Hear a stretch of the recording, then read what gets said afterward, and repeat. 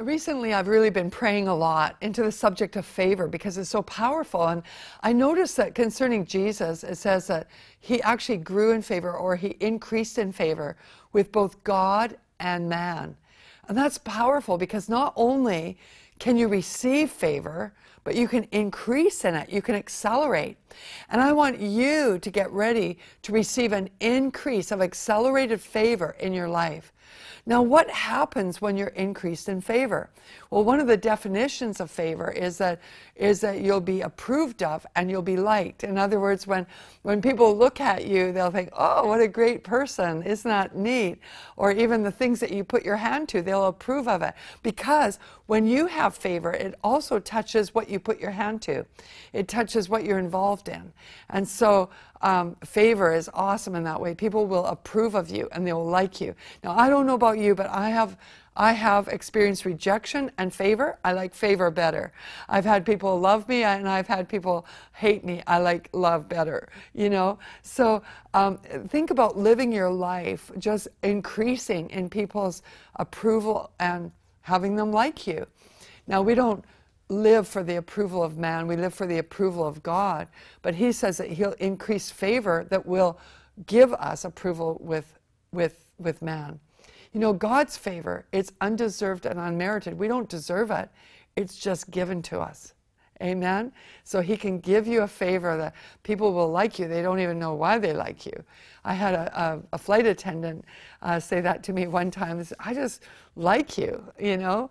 And uh, they had kept staring at me throughout the flight and they said, you know, there's just something about you. I really like you. Tell me something about yourself, you know? So I actually got to share the gospel uh, with her because um, God gave me favor with her. Another definition of favor is uh, when you have favor, uh, you are given privilege. There's just privilege that is given to you that, that isn't necessarily given to other people. And, and, and and that's really fun. I remember uh, one time when we were over in Africa with Dr. Benson Idahosa, and we were in the Governor's Day Parade, and we got to go in his limousine and go right up to the governor's governor's booth. It was a privilege to sit in that booth. No one else was allowed to sit in that booth. And then we got invited into the, the green room afterwards and got to prophesy over the governor and different dignitaries because it was a special privilege. We were favored to do that and to be invited into that uh, realm. So when you have God's undeserved, unmerited favor, it starts activating supernaturally in your life so it sets you up for things like that to happen. It also includes the um, uh, benefits and gifts so that when you're favored, people want to benefit you and they want to gift you, they want to bless you. They send you special little cards and gifts and everything. And it's just so sweet. You know, the favor of God is sweet. I was just in an airport the other day and I walked by a store and it had all these outfits in the store that I knew would just look fabulous on, on a particular friend of mine that I favor. I favor her. And, um, you know, I like her in other words. But I liked her so much, I thought, oh my gosh, you would love this store. Everything in it just has her name on it. So I went inside the store and I had fun. I was pulling things off the, the racks. I thought, oh my gosh, this would look so cute on her.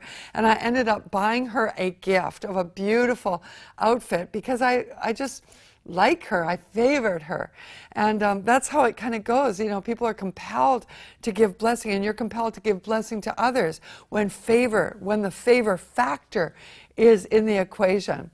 And another definition of favor is, is when you're given an advantage or a, an, an unfair advantage, we call it. Like, for example, when we were down in Tijuana, Mexico years ago, and we were starting an outreach center, and we had people coming for a outreach within one month.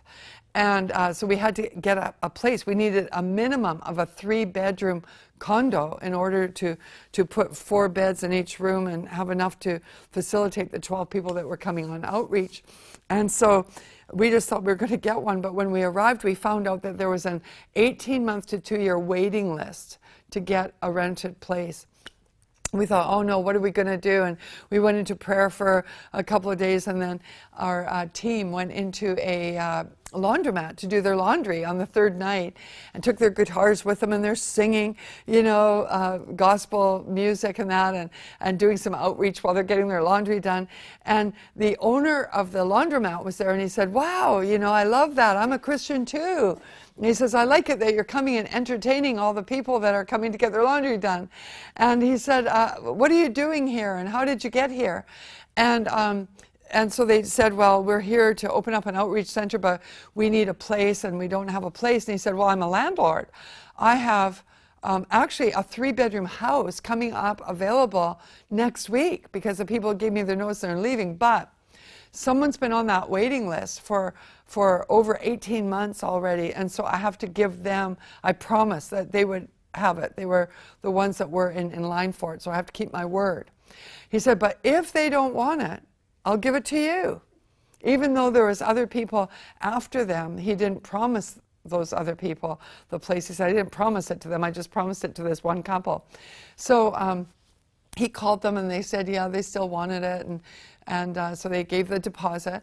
And so we went back and we were praying and saying, Oh God, could you favor them with even a better place or, or open up something else for us right away?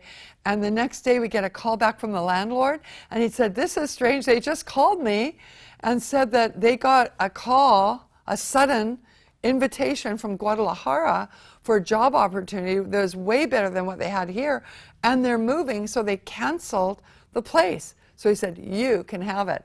And so we got our first place. And then within the next year, we got three other places given to us like that right when we needed them. And we didn't have to wait for 18 months or two years. We got them right away. Now, when we were telling some, some, um, uh, friends of ours that we got to know in, in Mexico, they said, That's impossible. How could you get that kind of advantage?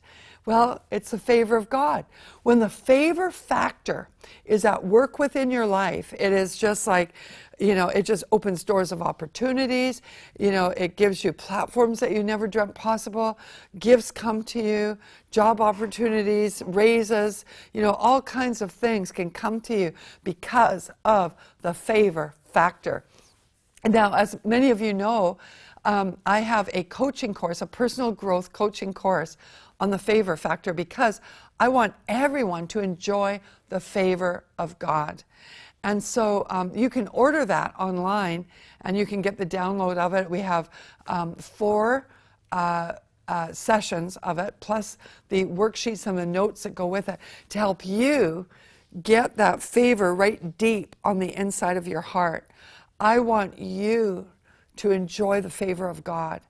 And so you can order that um, online on our xpmedia.com store and, um, and get filled with favor. And I teach you in that course how, how you can um, look at areas of your life where you've been rejected in the past and overcome. How you can supernaturally receive of the blessing of God's covenant that promises you favor. Not only are you promised favor, but the increase of favor.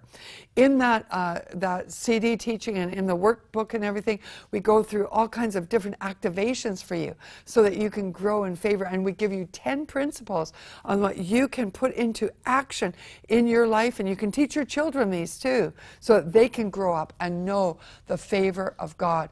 The favor of God is going to open up doors for us. You know, I wouldn't want to go evangelizing on the streets without knowing that I'm favored because you can have a great message, but if you don't have favor, no one's going to listen to it.